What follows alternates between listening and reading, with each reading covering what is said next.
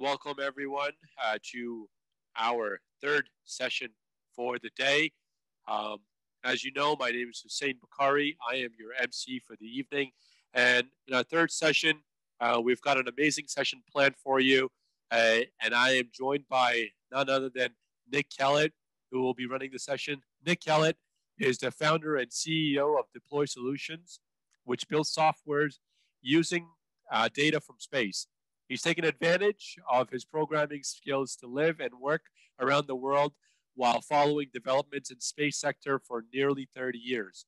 With technical expertise and business credentials and a passion for space, Nick helps businesses do great things um, with space data, as well as his technical expertise. He has been uh, writing online about space exploration um, since 2013 on his blog and I will share his blog with you shortly. And without a further ado, I'd like to invite Nick um, to share uh, his insights with us.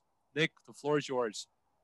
Um, thank you so much, everybody. It's uh, wonderful to be here. Um, I, you know, many of you, I think uh, we've met before, actually, at previous uh, Canadian space uh, summits, and of course, that's uh, you know where I certainly realized that uh, I could take my passion for space exploration and actually, um, you know, start to start to do some um, some real things with it. So uh, it's really a pleasure for me to talk about uh, space apps today. Um, this time, a year ago, when we were able to meet in person, I was actually speaking about the uh, 2019 event. So this is really a continuation of that.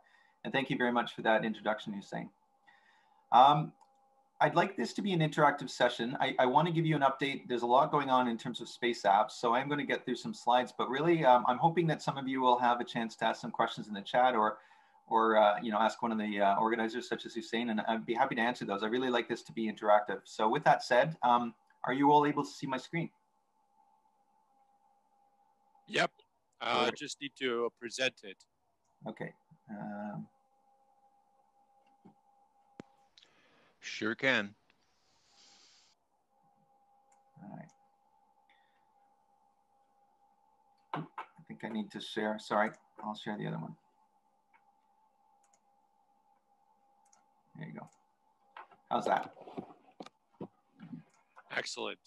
All right. Um, so a bit of history. Again, I started to speak about this last year. Um, you know, this is um, an ongoing event, and um,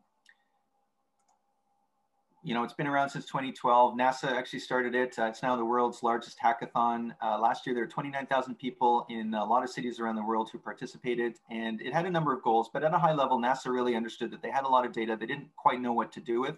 And at the same time, they wanted to unlock the creativity and innovation uh, from people around the world. And this has actually been a, a wild success. Um, Canadian Space Agency has been involved in this event for a number of years now. Uh, in previous years, they did challenges uh, themselves. Uh, this year, it's a little different. They are actually working directly with NASA and some of the other space agencies on all the challenges. And the question is whether there's CSA data available for some of the challenges or not. But in previous years, as one example, to give you an idea of the kind of things uh, that CSA was interested in, uh, there was a challenge for uh, David Saint-Jacques' mission around um, radiation. they also had a Stratos um, atmospheric balloon that was taking observation data. And so they made those data sets available to, uh, to Canadians uh, who could try to come up with solutions for some of the challenges that they posed. So there's really been a Canadian flavor for a number of years, um, which has been you know, really great and, and um, strongly supported by the Canadian Space Agency. And I'll talk about that shortly. Uh, I wanted to give you an example uh, very briefly of, of uh, you know, the kind of thing that you could get from one of these events, these hackathons. They're really time limited events where you're, you're intended to solve a challenge. You can do it in any number of ways. Many of the challenges are solved using um, software or digital uh, tools, but I mean, you can create hardware tools as well. And the example that we have here is from a team uh, that called themselves Team Mooncake. And um, they were um, two young girls who wanted to um, create a video of a, a, young girl dreaming about being the first uh, woman to walk on the moon. And so they created a, a really charming video it took advantage of um, the latest news at the time that was, um, you know, the mission uh, that had landed on, on uh, or crashed, I guess, into the moon and, and, left some tardigrades behind.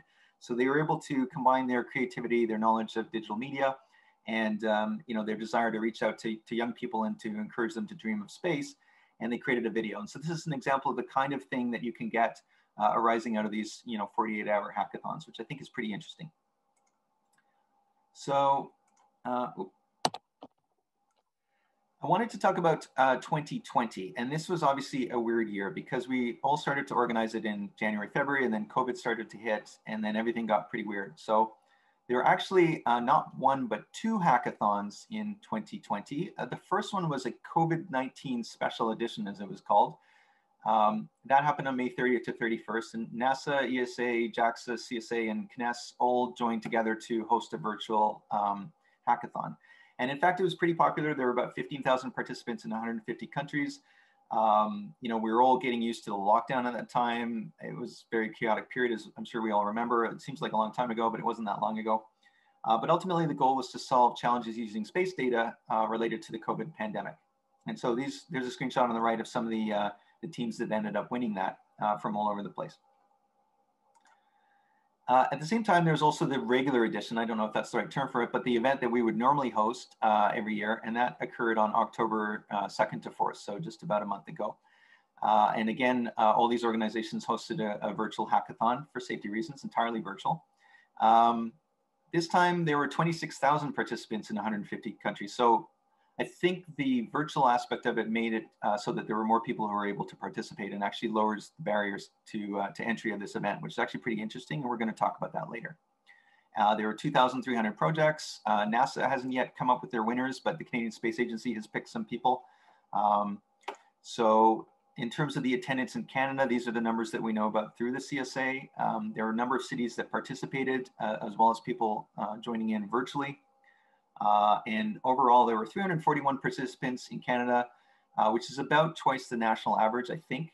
Uh, it's a little hard to tell, but that's about twice the, the average, I think. Um, 89 projects were submitted, and uh, 33 of those used Canadian Space Agency data. So that's actually pretty cool. And um, I think they were quite, uh, quite thrilled about that. And they have selected uh, their winners. So um, congratulations to 3.14 heads from Toronto obviously one of the areas of creativity is, is the team names. Uh, and also the winner of the special prize for World Space Week was uh, Open IntelliData from Kitchener-Waterloo. And so we had a team from Toronto, a team from Kitchener-Waterloo, and there were also some finalists, um, you know, from a number of cities, including from Ottawa. Uh, they, they did um, challenges related to forest fires and, um, you know, air quality and automatic detection of hazards and, and things like that. So there's some pretty interesting uh, um, projects and challenges that are being tackled as part of these hackathons. So I wanted to talk briefly about some of the organizers' successes and lessons learned. We have talked as organizers in you know past years, and I think I mentioned it at a presentation last year. We would really like to bring together the organizers across Canada a little more, uh, and we got that this year. In fact, COVID basically forced us to do that because we all went online. Um, and the Canadian Space Agency support, which has always been strong, you know, re they really went above and beyond. Um, and so we were able to work together um, and collectively organize and run our first ever entirely virtual and I guess I would say national event for space apps, which is actually really, really cool. Uh, we had our first ever national sponsor, so thank you to MDA for, for doing that. You're actually a pioneer. Um, we knew that already, but uh, you are again when it comes to the space apps, and thank you. And at the same time, the SEDS also had a Toronto Youth event. Uh, so there are a lot of interesting things uh, here that I think, uh, you know, are obvious successes, apart from the fact that so many people participated and we had the chance to, uh, you know, have Canadians um, work on these, on, on, these space apps challenges. Um, so, so this was actually a pretty interesting year for that. But we learned some lessons. Um, so first of all, it really helped that the CSA set up regular Teams meetings. So Microsoft Teams is what we used. And that gave us a way of kind of formally uh, convening as organizers with them um, on a, I think eventually we got to about every two weeks, um, but it was, it was about a, a, monthly process. And it gave us a chance to really, um, you know, synchronize what we were doing. At the same time, we used a lot of offline tools. Uh, it became really important to do um, what is called asynchronous communication. So there was a tool called Discord, which is used by gamers. Uh, you're able to chat and you can create your own channels on there. It's a bit like Slack, uh, for those of you who are familiar with Slack. Uh, at the same time, you could do screen sharing, you could set up videos and so on. And this was very interesting for asynchronous communication because some of us were working at different time zones and at different times, and we were able to kind of dip in and out of this communication tool in between the formal meetings and keep things going. Uh, we were also able to establish some organizational standards across the country. We were able to share some information and content that was very useful. Uh, we were able to start on a national fundraising system Uh, and, and also um, we did realize that there was a bit of overlap between the cities in terms of scheduling. And also we felt a little bit disconnected from our participants. In fact, during the event, during the COVID event and during the Space Apps Hackathon, sometimes we weren't really sure who was out there and what they were up to and whether they needed help or not. And that was something that never came up in a physical location because obviously you could kind of wander over and listen in and see if anybody needed help. So that was a real lesson learned um, that we found from this virtual event. So uh, what does 2021 look like? Um, we know that it's going to be October 2nd to 3rd. Uh, NASA's already chosen that, and it's actually going to be the 10th year anniversary, so it's going to be a special year. We have a lot of questions as organizers. Is it going to be safe to hold a physical event in October? We don't know. Uh, could we host a physical event in one location and virtual events in another? Uh, do we want to hold a hybrid event where it's physical and virtual? What does that mean? And can we build on our success from this year? So with that said, I wanted to talk about the concept of space apps in Canada and then really open the floor to some questions. Oh, I'm going backwards, so let's not do that. All right. So some of the challenges that we have as organizers is these hackathons are one-time events, and it's really expensive for us in terms of our time and our energy, uh, and it leads to a sort of inconsistent standard year over year there's not really a framework for us to uh, you know keep going in in a sort of forward direction uh, apart from relying on volunteers to jump in and jump out. And there's not really an incentive or an ongoing budget for us to do this either. Basically when the event's over we kind of shut down again for a few months. And also i think we need to continue to make a sustained and consistent effort to improve diversity and, and innovation. Uh, we're also having trouble with communication before and after the events. And so these are things that i think we're going to struggle with uh, in future years as well unless we try to address it, which is what I'd like to talk about next. Uh,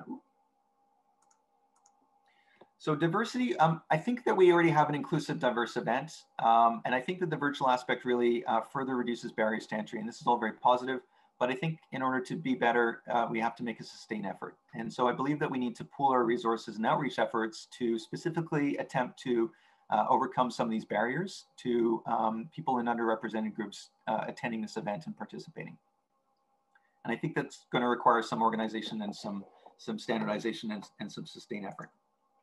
So what I'm suggesting is uh, Space Apps in Canada. I'm not calling it Space Apps Canada because the NASA International Space Apps Hackathon might have a problem with that branding.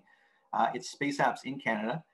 And I think the benefits are that uh, it's a low cost and, and, low risk way of getting outreach for space activities. We can definitely increase people's STEAM skills, especially in underrepresented groups, groups and, and educating our youth. We can promote job creation and growth. We've actually seen people get hired as a result of these events uh, directly. Uh, we can promote science and open data, which is more important than ever in this world, as we know. And at the same time, Canada has a lot of uh, you know skills in these areas that we can take advantage of. I think we have a unique opportunity. Um, I don't want to go through all these bullet points, but we remember Space Matters and the Don't Let Go campaigns, uh, Don't Let Go Canada campaigns from previous years as, a, as an important uh, lobbying efforts that, uh, that paid dividends. And I think that uh, organizing around space apps in Canada could do the same.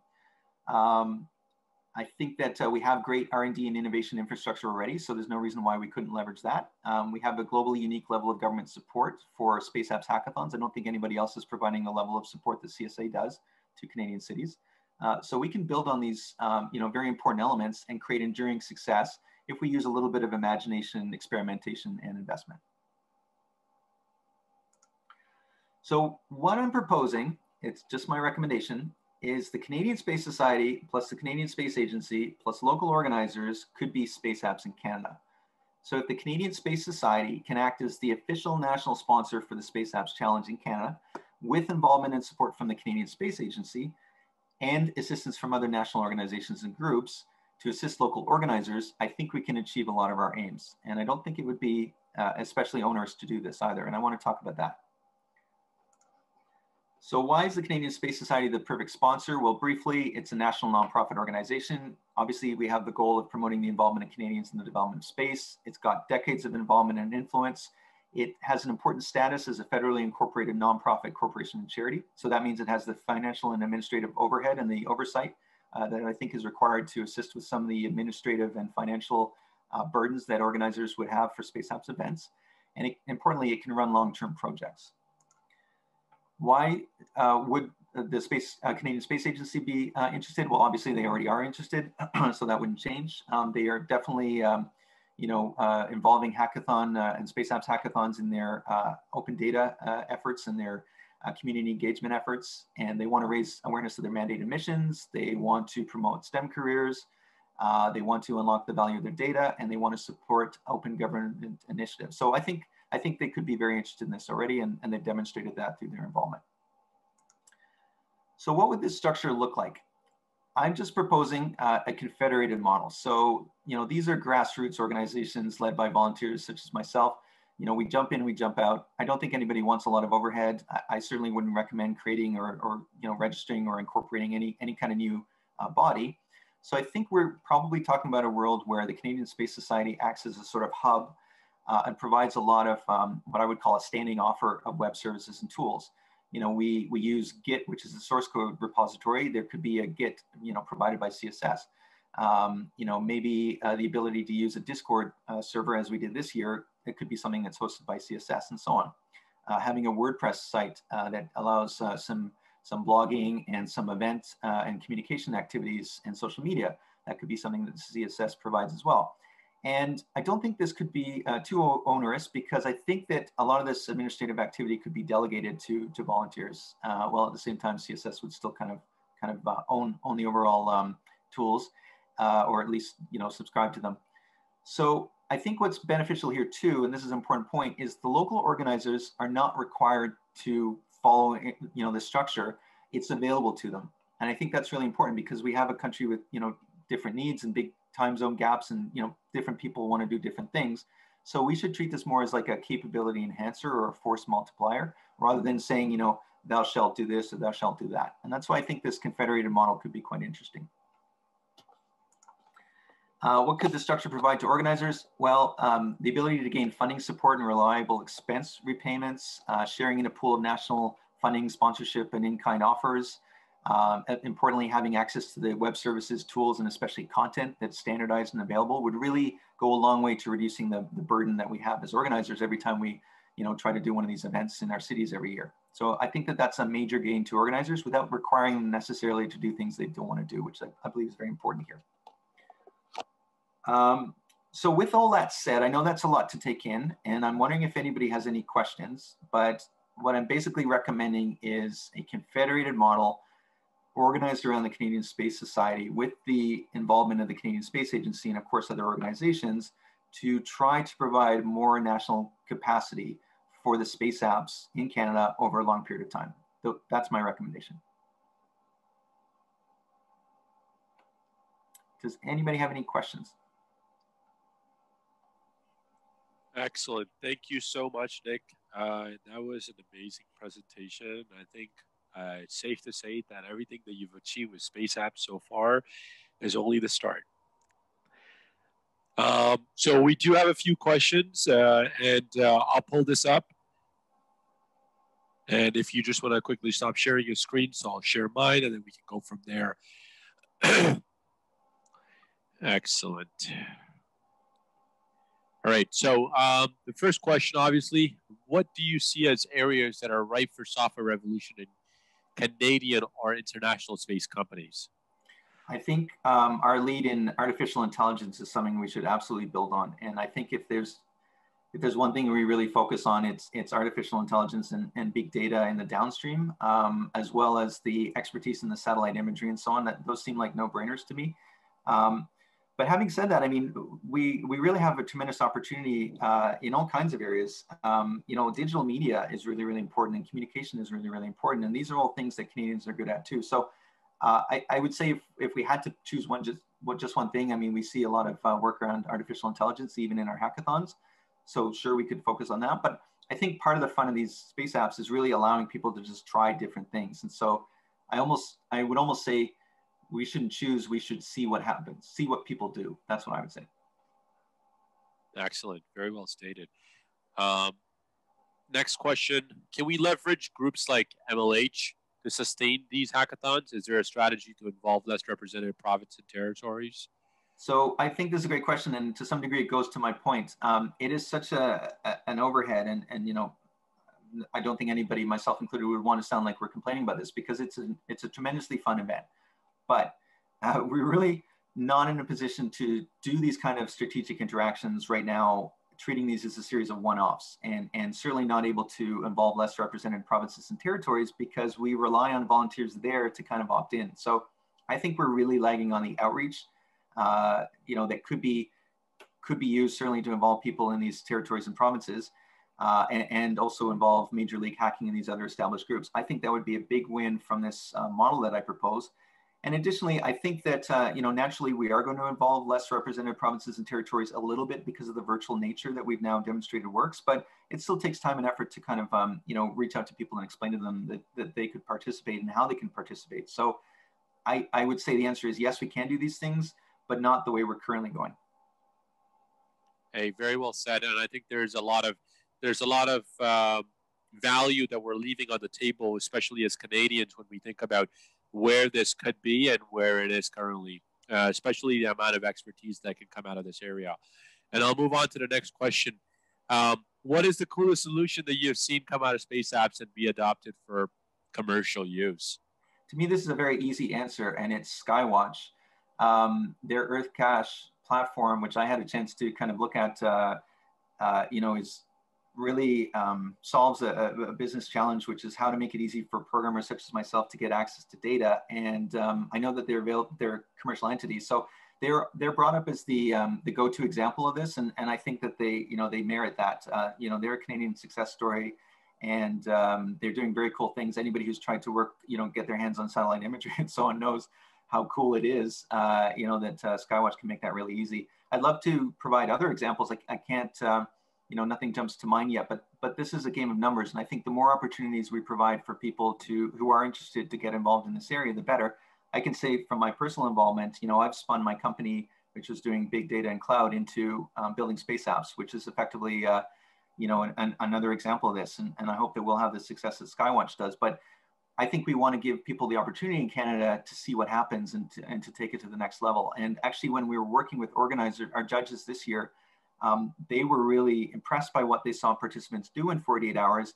And they specifically uh, suggested, and these judges are, are, you know, from a lot of uh, different business and other backgrounds, very successful, saying, you know, we would love to provide further mentoring for these uh, individuals if they want to continue with their solutions. So we want to we want to create a framework for that and give people the opportunity. And um, you know, it would be great to to say what are the coolest solutions and come up with 10 different ideas right off the top of our heads. I think that's a, an example of the success we should be aiming at.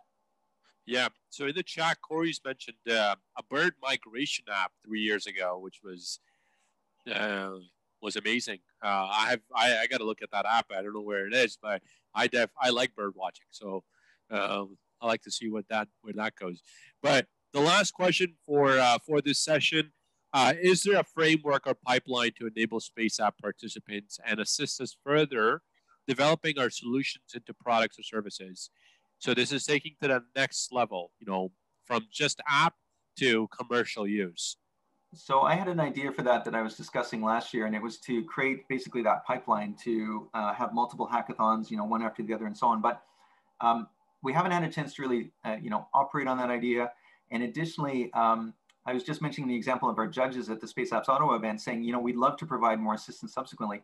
This, to me, again comes back to the point that I think the Canadian Space Society uh, you know, in, with involvement with other groups such as the CSA and so on, can provide that kind of assistance so that we can take it to the next level. Because if we have more consistent communication, more consistent tool use, um, if we have content that we can share, if we have people who want to provide assistance, which many people do, and we have this ongoing thing, and it's not a series of you know one-off events that happen every 12 months, then we have that that capacity. But right now we do not have that, and I think that's a real missed opportunity. And I'll say this again: I don't, I have not seen anecdotally the level of government support for this kind of event anywhere else uh, than what I've seen from the Canadian Space Agency. So, I mean, they certainly want to step in and help. Um, the, you know, the judges that we talk to, they, they want to take this, help people take this to the next level. But we we don't have the capacity to do that right now. And I think that's a missed opportunity. Totally agree. You know, I've got a question for you. So, space apps it's a, it's a very regional local type of atmosphere what are the potential of a, a potential future of it becoming a a, a global platform for uh, software engineers to be able to engage with each other on a global level. Like a software engineer from India, uh, you know, collaborating with a software engineer from Canada, and then building a space app together instead of having these local, regional, regional, local, or national competitions. Where do you think that can go from an international collaboration point of view?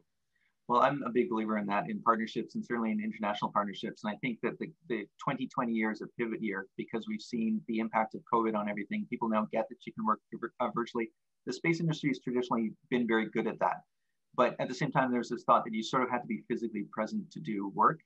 And, you know, we're talking to a large degree about software here, so that's even easier. But um, these solutions are supposed to be open source, which means there's nothing stopping any of us from having a registry of you know uh, previous projects that were done and you know here's the code and here's some ideas that people had or whatever like we could standardize that stuff quite easily i don't think what i'm suggesting here is actually very expensive in terms of dollars i think it's actually somewhat expensive in terms of time and effort but that's divided by the number of people who are willing to assist and so i would i would strongly encourage us to consider i mean we're talking about space apps in canada but that doesn't mean that we shouldn't be looking at, uh, at partnerships or, or collaboration elsewhere. I just think there's a starting point here that we can look at to you know better represent people across our country.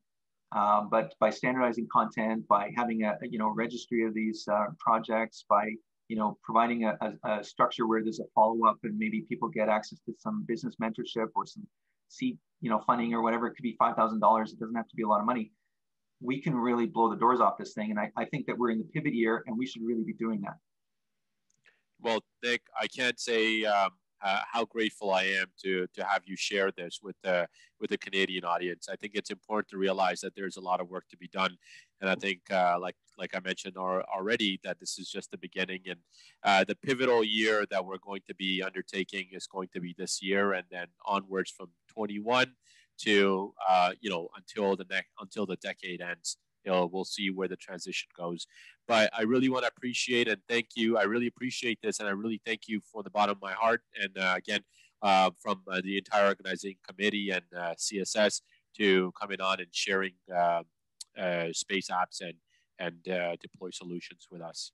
Well, thank you for giving me that opportunity, Nick. And just briefly, I'd like to thank all the other organizers and volunteers. There's so many people. Um, you know, it, it, I have the opportunity to speak, but there's so many people who've contributed so much to this year's event and previous events, and I definitely don't want them to be overshadowed. Uh, but, but, thank you for giving me this chance to speak about uh, you know the opportunity in front of us.